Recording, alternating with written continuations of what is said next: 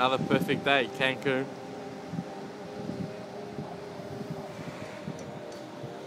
There's that man selling shit on the beach.